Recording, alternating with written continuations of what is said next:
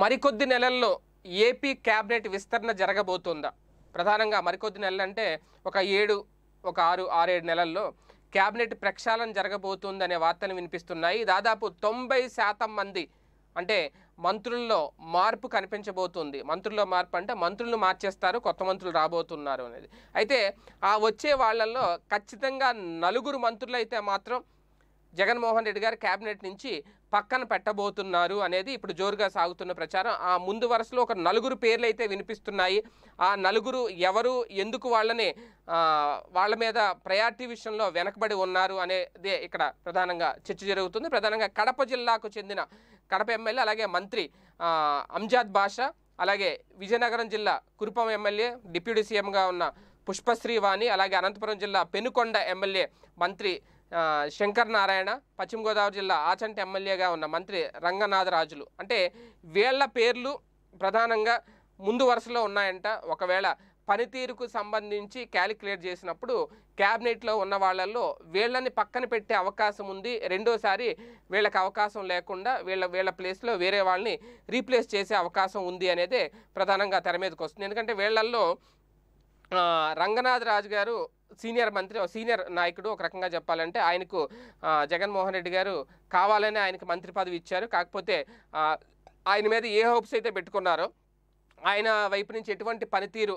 ఆశించారో జగన్మోహన్ రెడ్డి గారు? అదైతే కనిపించట్లేదు అనేది కొంతమంది విశ్లేషకులు చెబుతున్నమాట. ఇప్పటికే జగన్మోహన్ రెడ్డి గారి సన్నిహితుడు Narasapuram MLA Mudunuru Prasad Raju cabinet berth కోసం ఎదురు చూస్తున్నారు. దీంతో ఈ రంగనాథరాజు గారిని తప్పిస్తే కనుక ఖచ్చితంగా ఆయనకి ఛాన్స్ వచ్చే అవకాశం ఉంటుంది అంటున్నారు కొంతమంది సీనియర్ విశ్లేషకులు. అలాగే ఇంకా పుష్ప పుష్పశ్రీ వాణి గారి గురించి చూసుకుంటే కనుక ఆమె విషయంలో కూడా పనితీరు అంతంత మాత్రంగానే ఉంది మిగిలిన మంత్రులతో పోలిస్తే. ఆమెకు బదులుగా ఎస్టీ ఎమ్మెల్యేల్లో ఉన్న పీడికల రాజన్న దొర గారికి లేదంటే తెల్లం బాలరాజు లేదంటే కళావతి వీళ్ళ ముగ్గురు పేర్లు వినిపిస్తున్నాయంట. పుష్పశ్రీ వాణి గారి ప్లేసులో వీళ్ళెవరైనా మంత్రి పదవి దక్కించుకునే అవకాశం ఉంటుంది అనేది కొంతమంది చెప్తున్నమాట ఇక మైనార్టీ కోటా విషయంలోకి వస్తే అంజాద్ బాషాను కనుక తప్పిస్తే ఇమీడియట్గా గుంటూరు తూర్పు ఎమ్మెల్యే ముస్తఫా పేరు లైన్లో ఉంది. గతంలోనే అనుకున్నారు ఖచ్చితంగా ముస్తఫాకి మంత్రి పదవి దక్కుతుంది అని. కాకపోతే అవకాశం ఇవ్వలేదు కాబట్టి ఖచ్చితంగా రెండోసారి ఆయనకు అవకాశం ఇచ్చే ఛాన్స్ ఉంటుంది అని చెప్తున్నారు కొంతమంది రాజకీయ ఇలాగే పెనుగొండ ఎమ్మెల్యే శంకర్ నారాయణ గారి విషయంకి వస్తే ఇంకెందుకంటే ఆయన మీద ఎటువంటి వివాదాలు ఉన్నాయి ఏంటని అందరికీ తెలిసిన విషయమే. ఆయన ఇప్పుడున్న రాజకీయాలకు ధీటుగా సమాధానం చెప్పలేక రాజకీయాల్లో వేగలేక ఆయన అంటే జగన్మోహన్ రెడ్డి గారు అనుకున్న స్థాయిలో ఆయన అగ్రెసివ్నెస్ కనిపించకపోవడం ఏదో మంత్రిగా ఆయన కొనసాగుతున్నారు తప్ప అంతకు మించి ఏమీ లేదు అనేది ఓవరాల్గా. అంటే ఓవరాల్గా వీళ్ళందరి పేర్లు వినిపిస్తున్నాయి.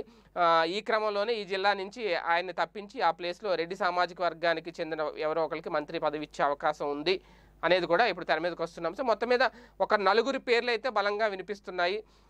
ఇప్పటి నుంచే.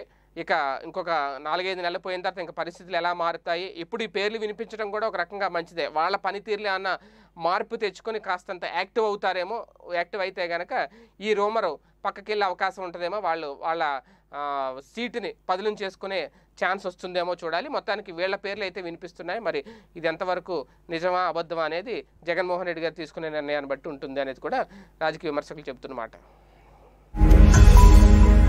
ఈ వీడియో గనక మీకు నచ్చినట్లయితే లైక్ చేయండి షేర్ చేయండి. మరిన్ని వీడియోస్ కోసం మా ఛానల్ను సబ్స్క్రైబ్ చేయండి.